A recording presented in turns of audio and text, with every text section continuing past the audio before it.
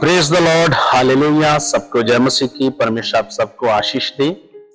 तो इस वीडियो को बनाने का आज मेरा बड़ा ही खास पर्पस है। इसलिए ये एक आपके लिए एक स्पेशल अनाउंसमेंट है। तो इस वीडियो को अंत तक में बने रहना। इस अनाउंसमेंट के बाद आपके लिए परमेश्वर ने बड़ा ही ब्लेस वचन दिया। उसको भी सुनना। और मेरा विश्वास है इस अनाउंसमेंट से और इस वचन से प्रभु आपको बड़ा ब्लेस करेगा। आमेन जैसे इन दिनों में परमेश्वर ने अपनी सुविच्छा को मेरे मन में डाला, क्योंकि बाइबल हमें कहती है कि परमेश्वर है फिलिपी दो की तेरह में लिखा, परमेश्वर है जो अपनी इच्छा और सुइच्छा नेक काम के आराध्य को पूरा करने का प्रभाव हमारे मनों में डालता है। तो इन दिनों में जो परमेश्वर ने अपनी सुइच्छा को डाला कि हम प्रार्थना को शुरू करें, जो सोमवार से लेकर सैटरडे होती है। क्योंकि पहले जब हमने ये प्रार्थना शुरू की तो सैटरडे सिर्फ़ शनिवार होती थी। तो मैंने बोला था कि, मैंने संडे भी बोला था आज से कुछ महीना पहले, कि परमेश्वर जल्द अपना अनुग्रह करेगा। ये जो प्रेयर सिर्फ़ अभी हम हफ़्ते में सिर्फ़ एक ही दिन शाम को करते थे हम। तो मैंने ऐसी चाहत की थी कि ये सारे दिन होगा और मैंने कहा था कलिसिया को कि हम ज़रूर इस प्रेयर को पूरा ऐसे हफ़्ता करेंगे। तो अभी ये प्रेयर शुरू है। सोमवार से लेकर सैटरडे तक सिर्फ़ फ्राइडे नहीं होगी, क्योंकि फ्राइडे शाम को हम लाइव आप शिक्षा सुनोगे। वचन से आप वचन को सुनोगे और उस प्रार्थना को सुनोगे, जो मैं अलग टाइम फ्राइडे शाम को आपको दूँगा। तो ये सोमवार से लेकर सैटरडे तक या फ्राइडे को प्रेयर नहीं होगी। तो ये पूरा ऐसे लगातार है, सारे दिन। तो अभी ये स्टार्ट है तो ये मैं, मेरे मन में आया कि मैं आपके साथ इस बात को शेयर करूँ और बताऊँ।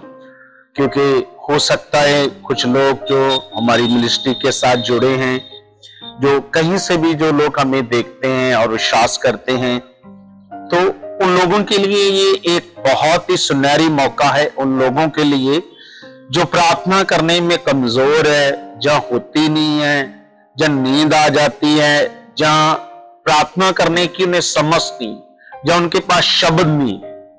तो कई बार क्या होता है, कुछ लोग प्रार्थना में बैठते हैं तो उन्हें नींद आ जाती है। अगर वो करते तो उनके पास शब्द नहीं होते। ऐसे भी होता है। तो ये प्रार्थना जो शुरू हुई है, ये आपको बहुत ज़्यादा मेरा विश्वास है बढ़ा आपको इसका नाम भी प्रभु ने हमें इस प्रार्थना का नाम दिया है। प्रार्थना के योद्धा बने। बोलो, प्रार्थना के योद्धा बने योद्धा। तो ये प्रार्थना जब रोज रोज आप सुनोगे, रिसीव करोगे, हमारे साथ बैठकर सुनोगे उन शब्दों से, वचनों को पकड़ोगे, कैसे हम करते हैं, है ना? इन दिनों में तो सोमवार से लेकर बुधवार तक तो मैं भी यहाँ पे आया और बच्चों के साथ, टीम के साथ मैंने भी प्रेयर की, वचन दिया। और बाकी दिन भी जैसे जैसे परमेश्वर गवाही करेगा, मैं आता रहूँगा पूरे हफ़्ते में। तो जैसे जैसे परमेश्वर ने चाहा। और मेरा विश्वास है कि ये प्रेयर अपने लोगों को बहुत बढ़ाएगी, उनके विश्वास को बढ़ाएगी, उनकी आत्मिक बुद्धि को खोलेगी। उन्हें प्रार्थना करने का उनके अंदर हयात को पैदा करेगी तो इससे सुनने सुनने से रोज रोज आपकी प्रार्थना के शब्द भी बढ़ जाएँगे और आपकी प्रार्थना भी बढ़ जाएगी। क्योंकि प्रेर एक ऐसा मात्र सिर्फ़ रास्ता है जो जिससे हम अपने जीवन के सारे प्रॉब्लम्स का हल करते हैं, बैठते हैं, परमेश्वर के साथ बातें करते हैं। बोलोगे बातें करते हैं परमेश्वर के साथ, क्योंकि एक प्रेर एक ऐसा मात्र एक रास्ता है जिसके राही हम परमेश्वर से बात करते हैं।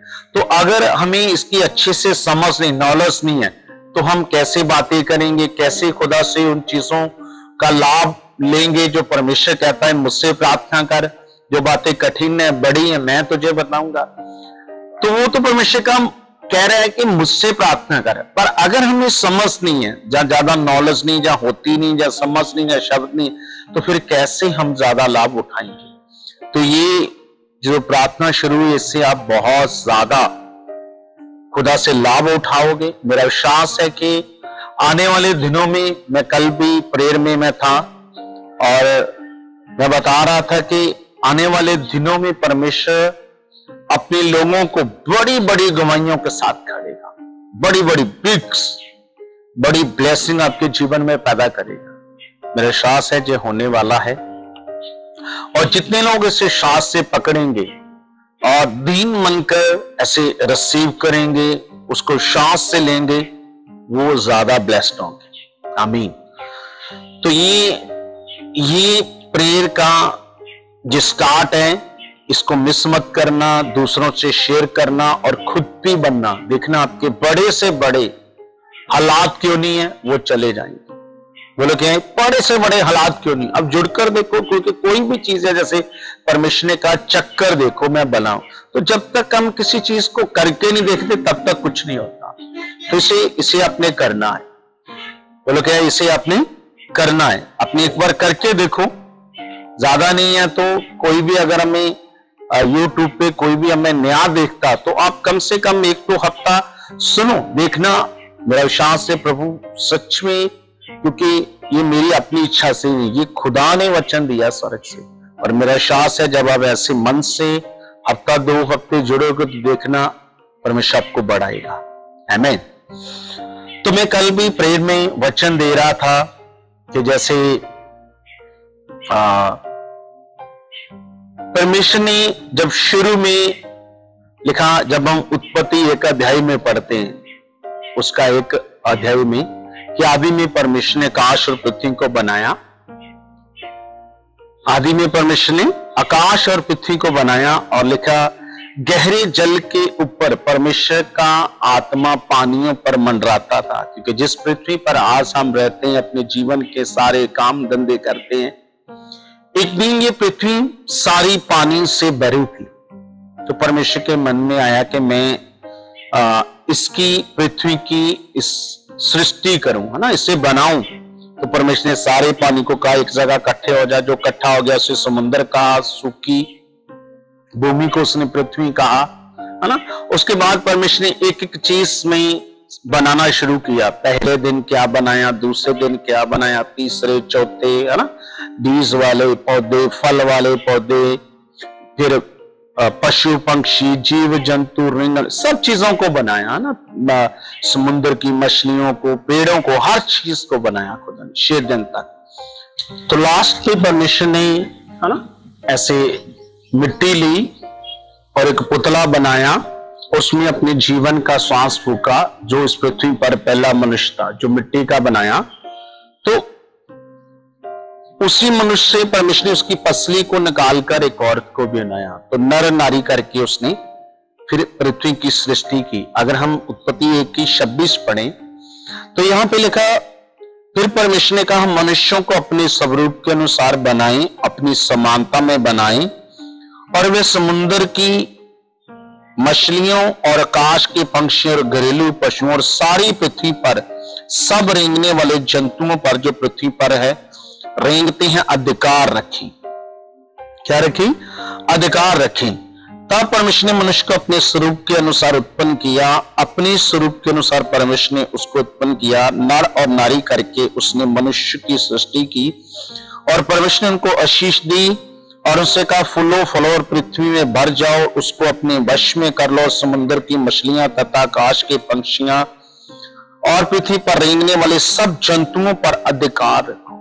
तो परमेश्वर ने जब आदम और हवा को बनाया ना तो उससे पहले परमेश्वर ने सब चीज़ें बना दी। तो लास्ट में बनाकर परमेश्वर ने कहा, सब चीज़ों पर अधिकार रखो। और हम जानते हैं कि जो जो अधिकार परमेश्वर ने पहले मनुष्य औरत को पूरी पृथ्वी की सब चीज़ों का दिया। जो कुछ भी इस पृथ्वी परमेश्वर ने डाला, चाहे वो कुछ भी है, चाहे वो सोना क्यों नहीं, हीरे क्यों नहीं है, कुछ भी क्यों नहीं। तो वो सब चीज़ें किसके लिए थी? मनुष्य के लिए। पर एक समय जो चीज़ें सब परमेश्वर ने पहले मनुष्य और औरत के लिए बनाई थी, उसने कहा, सब चीज़ों पर अधिकार रखो, फुलो पुलो और भर जाओ, है ना? ऐसे आशीष दी पर हम जानते हैं कि जो चीज़ें परमेश्वर ने इंसान के लिए बनाई थी, वो सारा अधिकार एक समय पृथ्वी का किसके किसके पास आ गया? शैतान के पास आ गया। उनकी एक गलती के कारण। बोलो क्या? जो चीज़ों का सब कुछ जो कुछ खुदा ने बनाया था इंसान के लिए, वो सारा अधिकार किसके पास आ शैतान के पास आ गया। इसलिए वही अधिकार जो आदम और हवा ने अपनी गलती के कारण खो दिया था। बोलो क्या था? पृथ्वी की सब चीज़ों का अधिकार जो खो दिया था, आज परमेश्वर में फिर से वो चीज़ें वापस देने के लिए, वो स्वर्ग से पृथ्वी पर आए, मानस दे में। बोलो क्या है? मानस दे में आए हैं, ताकि वो जो अधिकार शैतान ने आदम और हवा से पाप करा के उसके पास आ गया। वो परमेश्वर हमारा सच्चा खुदा, ज़िंदा खुदा, जो मानस दे में आया, जिसने अपना जीवन देकर हमें, हमारे जीवन को बचाया, हमें पाप से बचाया, फिर परमेश्वर से मिलाया, और वो जो अधिकार शैतान के पास था, फिर से हमें वापस तलाया वो कैसे? है ना? हम जानते हैं जब यीशु मसीह ने अपना जीवन क्रॉस पर दिया। जब यीशु मसीह आए, जब चालीस दिन निराहार परमेश्वर प्रार्थना कर रहे थे तो हम जानते हैं कि शैतान परखने के लिए आया ना यीशु मसीह को। उसने कहा, अगर तू जब भूख लगी तो उसने कहा, अगर तू परमेश्वर का पुत्र तो बोल, ये पत्थर रोटियाँ बन जाए।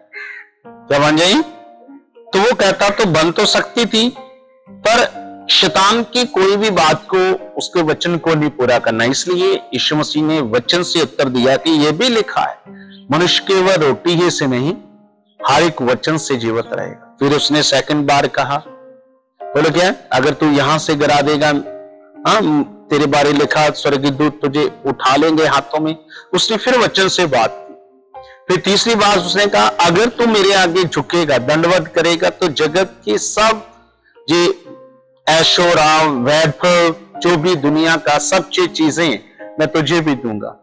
वहाँ पे तो लिखा बत्ती में चार में मैं तुझे भी दूँगा, पर ओरिजिनल टेस्ट में लिखा, वो सब चीज़ें, अगर तू मेरे आगे झुकेगा तो वो चीज़ें मुझे, जो मैं तुम्हें दूँगा, वो मुझे सौंपी गई। वहाँ पे ओरिजिनल टेस्टमेंट में ऐसे लिखा, वो सौंपी गई, क्योंकि सारा अधिकार पहले किसके पास था? आदम और हवा के पास। पर उनकी गलती के कारण शैतान के पास आ गया। उसने इसलिए शैतान ने कहा, यह सौंपा गया है मुझे। अगर तू झुकेगा, मेरे आगे दंडवत करेगा हाँ मेरे आगे मत्था टेकेगा, जैसे पंजाबी में कहते हैं तो मैं तुझे सब चीज़ें दूँगा।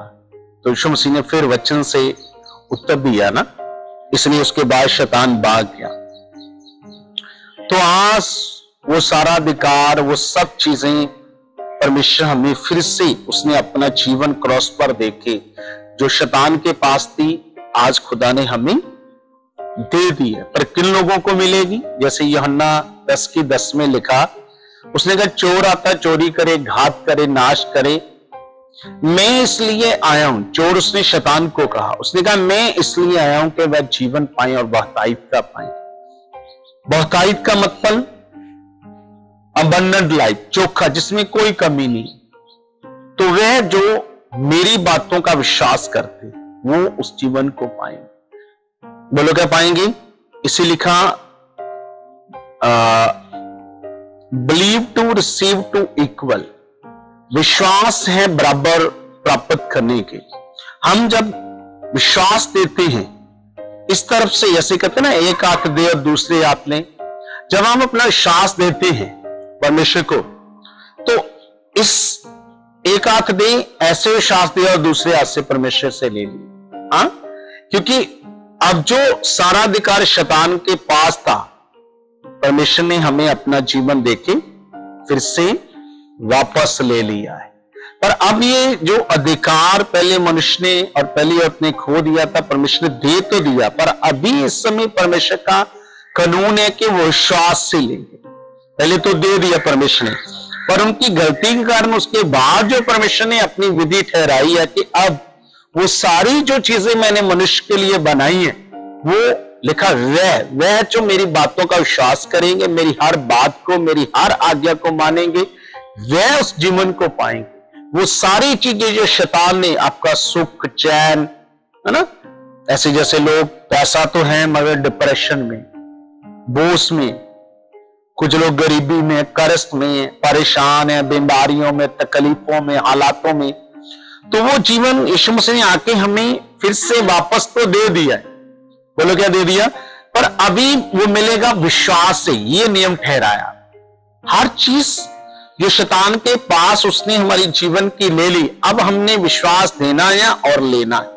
ये परमेश्वर का इस समय का जो कानून है, इस समय का जो परमेश्वर ने अपना प्रबंध दिया विश्वास का ना जैसे पुराने नियम में इसराइली अपने काम के लिए बलियाँ देते तो आज तो हमारे लिए फंसे का मेमना यीशु मसीह बलिदान हो गया। तो आज सिर्फ़ अपनी हर चीज़ के लिए विश्वास करना बोलो, क्या करना है? विश्वास करना है। क्योंकि विश्वास से आप सब कुछ किससे लोगे? उस खुदाबंद से।